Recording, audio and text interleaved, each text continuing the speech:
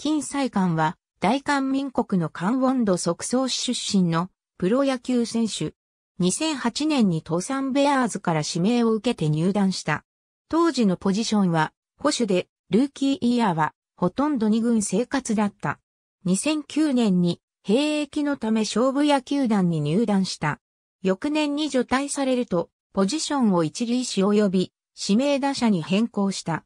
二軍で迎えた2010年5月7日の警察野球団戦ではサイクルアンダを記録した。さらに、同月27日の SKY バーンズ2軍戦でもサイクルアンダを記録。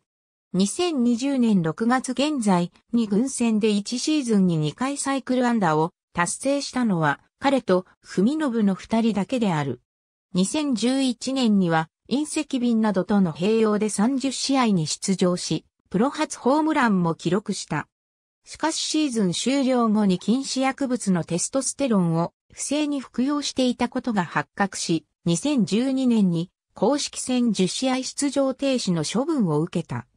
さらに処分を受けた時のインタビューで封印が解除された。と発言し、激しく非難された。2012年には処分が解除された後にロッテジャイアンツ戦のプレーオフ第1戦目に出場。林はじめ明の代打で登場し、結果はセンターフライに倒れた。2014年には再び保守にポジションを変更したが、両日野菜在オなどの豊富な保守陣からレギュラーを奪い取るには至らず、翌年に再び一塁手にコンバートした。2015年に新監督の金太閤が就任すると、シーズン開幕最初の試合となる NC 大ノス戦で、林正しのぎから逆転決勝ホームランを放ち、金太閤の監督就任初試合を勝利で飾った。しかしオールスター戦後には調子を上げてきた5在1の台頭によって出場機会が減少。同年オフに左翼手にコンバートした。2016年には、低秀明などとの外野で争いを制して多くの試合に出場した。シーズンを通じてはいずれもリーグ3位となる37本塁打124打点を記録し、チーム初となる打率3割30本塁打100打点を達成した。また、ゴールデングラブ賞を受賞した。2017年は左翼手のレギュラーに定着し、全試合に出場した。昨年よりもさらに成績が上がり、いずれもリーグ3位となる35本塁打、115打点、110得点、81四球、出塁率4割2分9厘を上げた。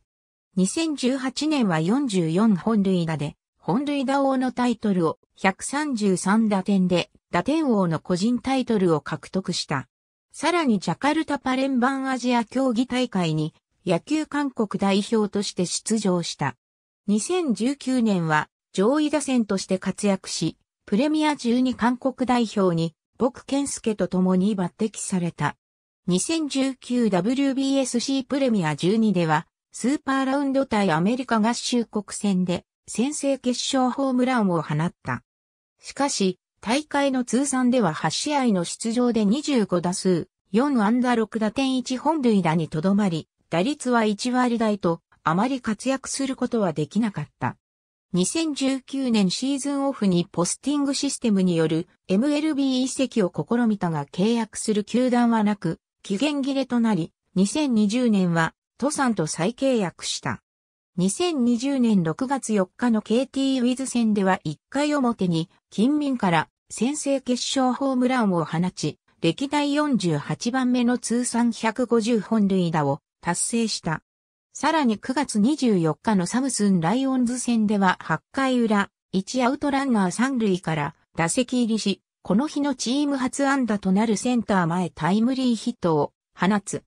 結果的にこの敵自打が決勝点になり、史上4回目となる1安打での勝利を決定づけた。なおこの試合では、同僚のリノボルシンがプロ初勝利を、また、リエイカワもプロ初セーブを挙げている。入団当時は守備難が目立ったが、左翼手にコンバートした2016年以降はリーグ平均以上の堅実な守備を見せるようになった。特に保守出身のため強肩で、相手走者の進塁をたやすく許さない送球が持ち味。打撃フォームは、ケン・グリフィー・ジュニアのものを参考にしている。そのため極端なアッパースイングであり高いボールが弱点である。やや短気な一面を見せる。ありがとうございます。